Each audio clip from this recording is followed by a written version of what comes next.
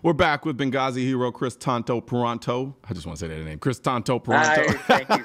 You say it better than me. You say, and I want people. I, hey, I, I appreciate it. I, I, ain't no hero, man, but thank you. But come on, brother. You can say the Tanto however you want. I, I like that though. I like that. got a nice ring to it. You got you got the twang going on better than me. Hey, I try. I practice in the mirror every morning. oh man. So okay what does 13 hours look like if you didn't get the stand down order and you guys were able to take off and go deal with things the moment you realized you needed to do it? 30 minutes. It'd be called 30 minutes, basically.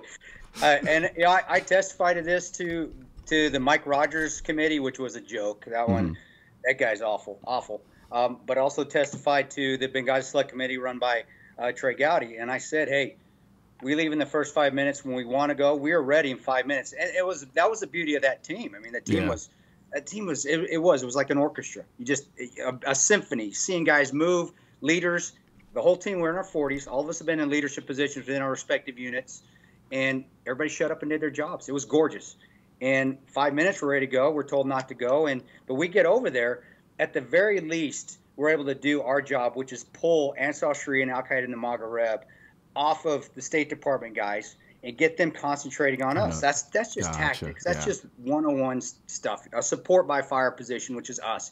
We're going to hit them. We're hitting them hard. That's what we do. State Department does what they're trained to do: get the ambassador off the right. X to us, and it gives them a, a, an out. And and Dave Ubben and Scott and Alec were capable guys. They were the State Department guys. They yeah. were capable of what they were trained to do, which was protect the ambassador. They weren't trained to engage, and and they didn't have that kind of background. Not saying they couldn't, but yeah. it does help when you when you are a SEAL or a Ranger or Marine and you've been doing this for over you know at my that point in my time my career I've been doing it for what 15 years 16 years? So that says a lot. And, and they would have been able to get the ambassador out there. So no we wouldn't we wouldn't be talking. The ambassador would be saved I'd still be working. Um, uh, for people don't know this we all lost our security clearances when we told the truth which is we figured that was going to happen. I mean, that's yeah. that's a Mike Morell CIA running right there, John Brennan CIA. But um, no, we we it, it would have they would have Ambassador still be alive, Sean would still be alive, and I testify that, and I still stand by that. And that's because not because that we would have been able to kill them all. Yeah. It would have been we would have pulled their attention to us. Um, I did have this smart, and this is this is what you get in D.C. I had this smart, this little smart aleck council member on the Democratic side, Democrat council. He's 26, you know, he's a lawyer guy, and he says he comes up to me, he says, "Well, if you would have done that, what if you would have died?" And I looked at him, and I said, "And that's what I is that what I, I'm worried about my I said that's the mentality that we have here. Yeah. You're worried more about yourself. We're worried about sacrificing ourselves so others can live. I said that's why we're having this discussion at the moment right now. And it, it just showed that the differences of where politics are and patriotism is on the other side. And that was the sad state of of my my view of DC over the last four years. And and sadly it's it's still not as much. Yeah. But it's still it's still quite like that. It's all me, me, me. I'm worried about myself and you know what? Doesn't matter if anybody else thinks. And it's too bad because this millennial is going to be teaching people this for another 20, 25 years. And, uh, and, uh, and that's how he feels. So, uh, yeah, it's just my little venting. I, I got my little yeah. vent out. No, I've been away, man. Because I mean, I read, I read, I read some of the reports, and you know, like I was listening to their reasoning for why certain things went the same way. And they were saying everything. And, and, and as a lawyer, I'm, I'm, I'm trying to, to really pay attention to word choice. Yeah. And everything was there was no evidence. There was no evidence. There no was no evidence. evidence. Was just a beautiful scapegoat for well, you can't prove otherwise. You know what I mean? it's like basically, yeah, it not like, that guys on the ground are telling you what, what's going on, but you know, if, uh, uh, they must have been watching it on Facebook, and it didn't say that on Facebook. But even though the guys are there telling you this is what happened, yeah. Nah, somebody didn't tweet it. It didn't happen. Nah, good enough. no, I, and I'm glad. Yeah, and I don't think people realize this either. It's not like a I know I'm a knuckle dragger, but I, have got a I've got a couple graduate degrees out there. I, don't tell nobody. Now I told everybody. Sorry, but you know I, I I'm a big dumb idiot, but I got some smart things going on in my head too, and, and so you just we utilize all of our all of our experiences, but then all of our things that we've been through in our life for that night or any yeah. other situation, so we can make a good decision before we head out the gate. But then once you get out the gate, you have to rely on your instincts and your training. And and people in DC they don't get it. We go back to what we full circle.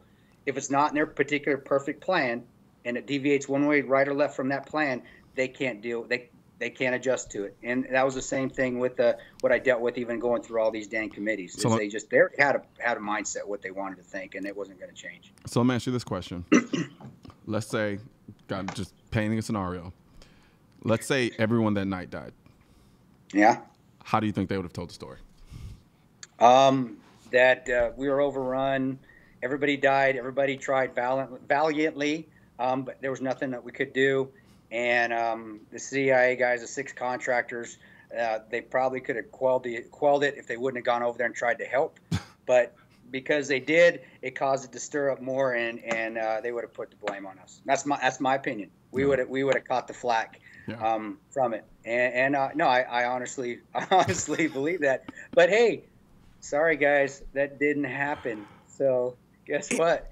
You're no longer in power. Uh, it's, it's, it's, it's weird because like so I was I was doing some reading and so like one of the quotes was it was a tactical decision on the of the leadership on the ground to attempt to gather more information about the attack at the mission before authorizing the team's departure.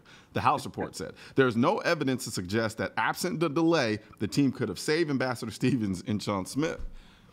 And well, how do you that's how do you know how do you know unless we would have went how do you know if we would have unless we would have went that five minutes you're they're giving you that reasonable doubt they're giving yeah. you that doubt and the creative thinkers that we don't have in this country anymore will say Oh, you're right. I, I, I, believe that.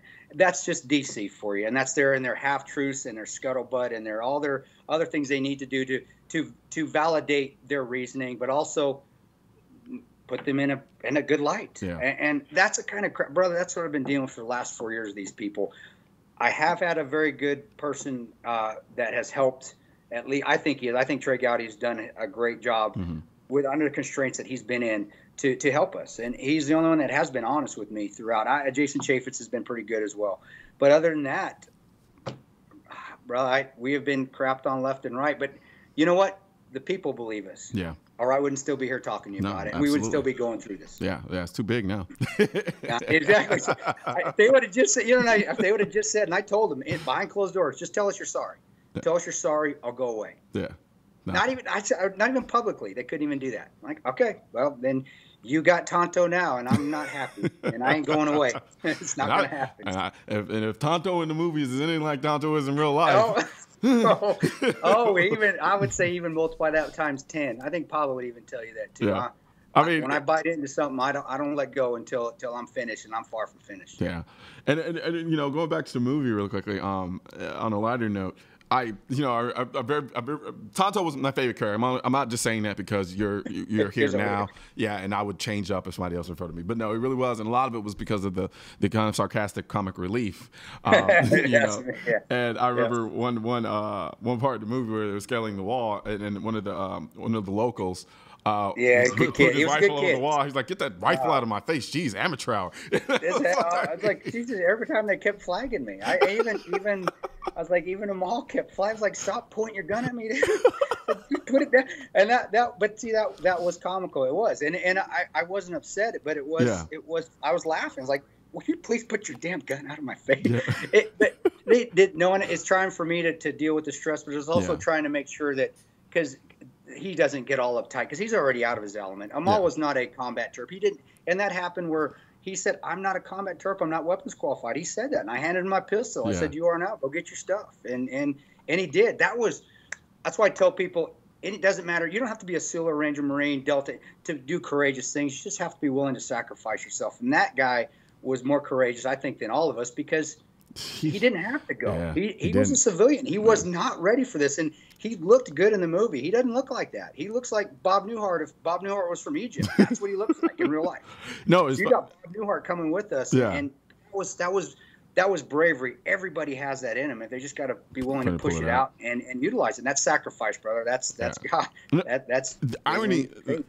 irony is, man, in the movie initially, I kind of laughed at him you know, because you know, it was kind of funny because he served as comic relief also. But as the movie went on and towards the end, you really develop a respect for him because you realize, I realized, I was like, that'd have been me. Yeah, that like, that, that, that, he just out of nowhere and he yeah. did the right thing and and I, I, I did have to break up with him. I miss that. I did break up with him when I left Libya. I love that little guy. Yeah. Um, I hope I see him again. I, I you know, I, I doubt if I ever will, but I, I, believe he's still alive and I believe he's still working. But I, I, am not for sure. I haven't talked to him since the event. Yeah. I don't know. It seemed like you know, and, and, again, I preface everything I say because a lot of it was based on the movie. That's my only vantage point. No, um, I, will correct you if something's way okay. off. I'll correct you. Okay, don't, don't awesome. um, just the relationship between the locals and you all seemed rather tumultuous, but in a restrained kind of way. It, it's like how what was that dynamic like dealing with that? Because it's like you didn't know, you know who was who and what their intentions were. And oh, you know that that night it was a bit tumultuous because mm-hmm. you're you're you're watching the firefight. You are getting shot at. You don't know who friend or foe is. They don't wear uniforms. But daily life, I'll be honest, daily life wasn't bad. I, okay. I actually got along with because that's the beauty and that's what's so I love. I don't know if GRS is still the same, but at least when I was working you're you're going in town. You're going and eating local. You're going to the coffee shops. You're going and get to know. You are the ambassadors. The ambassadors, gotcha. the guys that go out, mm-hmm. they aren't they aren't the diplomats. We are the diplomats because we are in there every day, immersed in their culture, and and most of them just they just you hear guys say this all the time that go overseas that are actually immersed in the cultures. They just want to live their lives. Yeah. That's all they want to do. But then they get caught in the in the in the Islamists. The Islamists they get t- caught with the terrorists and they can't fight back because they got nowhere to go. Yeah. And if they do fight back, they're dead. And and they're not willing to do it, so they're willing to basically be sheep and say, well, whatever you want us to do, is don't cut my head off. That's why when we're there, we do get some respect. But then we do crap like we do in Libya, where that happens, and what do we do? We pull up chalks and leave. Yeah. And now Libya's a failed state, and now now they hate us. Yeah, yeah, exactly. It's imploded. Same as Syria. Look what what's going on in Syria. Um, and and that's that is that's why when we go over to the countries, at least initially, mm-hmm. when you first go into these places, there is some uh, there is some animosity because they're like, oh, Americans are they're just going to come basically party at our house and they're going to leave and yeah. leave leave the mess for us to clean up with. But that night in particular, yes, yeah. very tumultuous because you just you don't know, know, yeah, you, you had no clue until they're shooting at you, right? Yeah, exactly. and that and that that's another thing where this is a great lead for for with the NRA doing this here with you yeah. is our rules of engagement there under that uh, administration were very hindering. We we had just saw what happened to the Blackwater guys at Nisour Square. Some of those guys are still in prison for yeah. shooting back for for shoot after getting shot at. And so we had to hold, and that takes a lot of restraint. I don't think people realize how much restraint it takes to. You want to pull the trigger, and there's that, there's that. There was that scene, and it was correct where a guy drove up in the car my red dot's on his forehead, and I'm like, I want to shoot him in the face, and I'm saying that to Ron. I want to shoot this guy in the face. Ron's saying, don't shoot unless you see a gun. Don't shoot unless you see a gun, because yeah. why shoot and it's a bad shoot? Then you're done. I'm getting prosecuted. Yeah. I'm going to prison. Yeah. And, and that's you don't want to fight wars like that. Yeah. Hopefully, we don't have to do that anymore with the, this administration. I hope not. Absolutely. Well, we're going to take a quick break, and we'll come back and we'll talk some more.